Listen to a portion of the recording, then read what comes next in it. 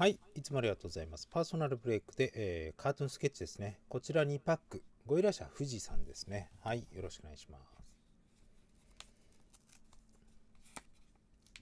ビリってやらないとちょっと。はい、無理なんで。よいしょ。さあ、どうでしょう。アダム、はい、クリブランドさん。よいしょ。アダムさん多いね。これ1番なんだね。カタログとかで使われてましたからね。うん。はい。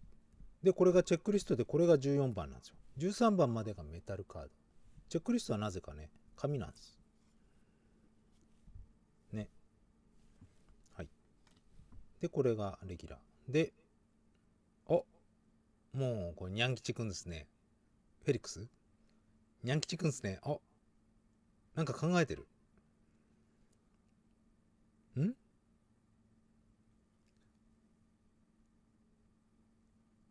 椅子に座って、なぜチェア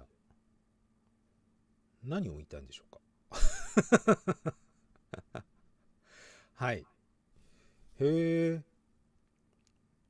ジョシさん。ね。あのー、まあ、どっちかというと、当たり前？うん。当たり前体操かもしれないですね。ひょっとしたら。ね。よいしょ。ね、立ってる人に椅子に座ったらどう？はあ、座ると楽だわ。当たり前ですね。この間久々に見ました。ね。はい、二つ目。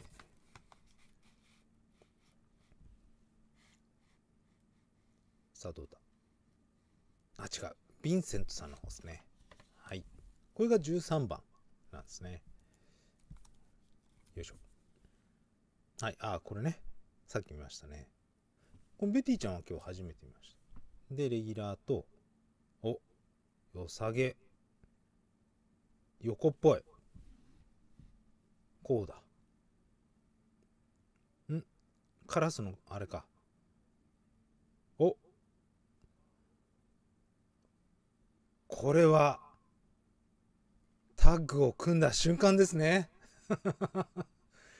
ちょっといたずらいたずらしちゃおうぜっていう、はい。ベックさんのスケッチカード。ね。で、えー、こっちのね、はい。カラス地区と、こっちの、はい。黒カラス地区で、ちょっとね、いたずらをし合ってたんだけど、ちょっとタッグ組んで、いたずらしない？みたいな。はい。その瞬間ですね。はい。こっちの方がちょっと、あの、握手してるけど、裏がありそうですね。はい。いや、でもね、フェリックスもこれ、かわいいですね。いいですね。うん。はい。椅子に座ってね。うん。楽ですねっていう。はい。やっぱいいですね。クオリティ高いっす。はい。まあ、キャラクターがっていうところはあるかもしれないですけどね。うん。やっぱこのいたずらガラスね。そうだね。はい。フェリックスもいいですね、これ。はい。ありがとうございました。またよろしくお願いします。